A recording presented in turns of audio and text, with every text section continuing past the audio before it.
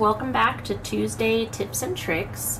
Um, today we are going to show you how to fix your candles whenever you get like little cracks or craters like this um, if you don't have any wax to do a second pour.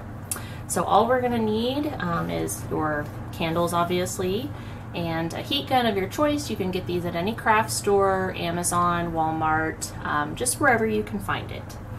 Uh, so we're going to start with just one candle. And as you can see, I've left the wick untrimmed. Um, honestly, this is the best way to do it, just so you can make sure that the candle, or I'm sorry, the wick does not get off center.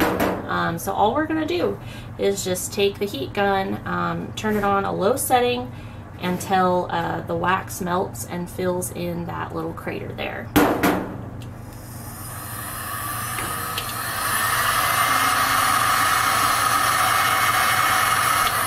You want to kind of pull the wick to the side like I'm doing. Don't worry, like I said, if it does kind of get off centered, we've got it long enough so that we can recenter it uh, before the wax sets back up.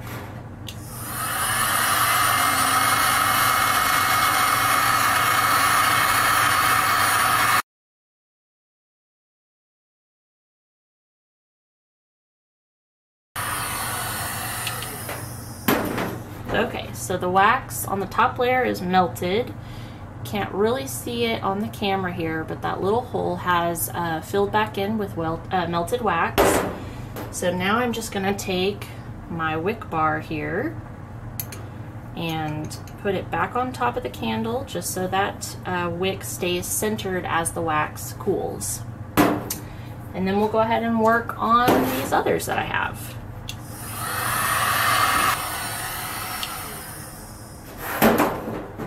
Same thing here, you can see that that hole is now filled in.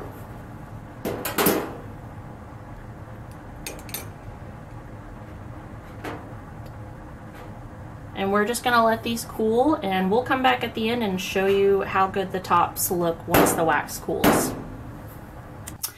Okay, so we have melted the tops of our candles with the heat gun and let them cool. So now I'm just gonna take the wick bars off and I'll show you how nice the top of the candles look.